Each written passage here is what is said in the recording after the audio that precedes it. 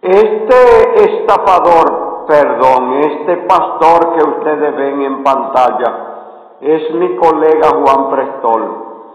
Hace 50 años que lo conozco. En varios países ah, lo vi.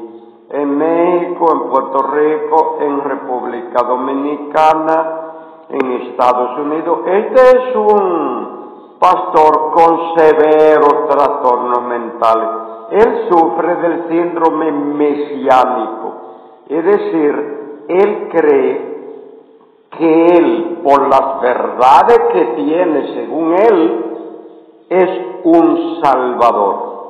Este caprichoso marullero, pastor, estafador, trastornado mental, tiene el síndrome de elegido, el trastorno de elegido, el complejo.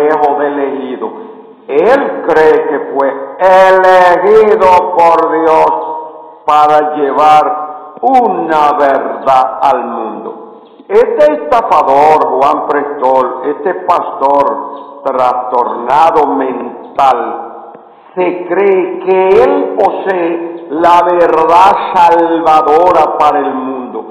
Estos tres complejos me lo transmitió este marrullero en Santiago, República Dominicana, en la vieja iglesia que estaba ahí en la calle Las Carreras. Y eso lo hizo por allá, por el 1972.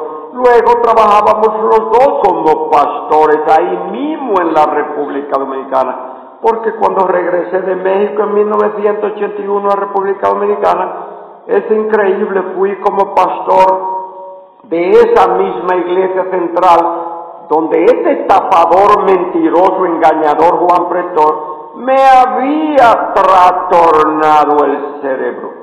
Este engañador, pastor, marrullero Juan Prestor, es un trastornado mental y de esto estoy ciento por ciento seguro, porque los departamentos que tienen que ver con esto ya lo demostraron aquí en Estados Unidos.